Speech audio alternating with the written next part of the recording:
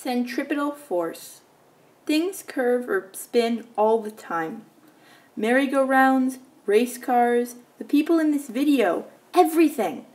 But it takes more than one force to move something in a circle.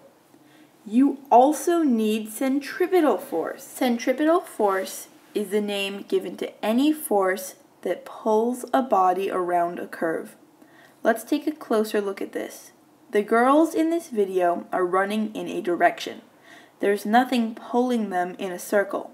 So, they're moving in straight lines. Now let's see what happens if we connect them to an axis. The trapeze they're holding is showing centripetal force. They're being pulled around a circle. Look at how the people in the video are running. They are still running in a straight line and are being pulled by the centripetal force. The dark blue circles in this diagram represent the girl. The blue arrows in this diagram show the direction she's running.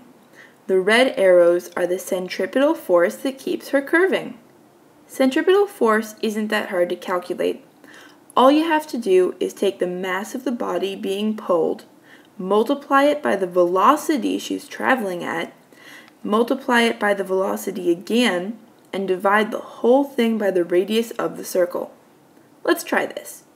Say the girl weighs 40 kilograms on Earth, and I'm just choosing that because it's an easy number. That means she has a mass of 40 kilograms. Now, the circle looks to be about 3 meters in radius, and it appears that people are moving with a velocity of about 2.5 meters per second. So we multiply 40 by 2.5 and by 2.5 again to get 250.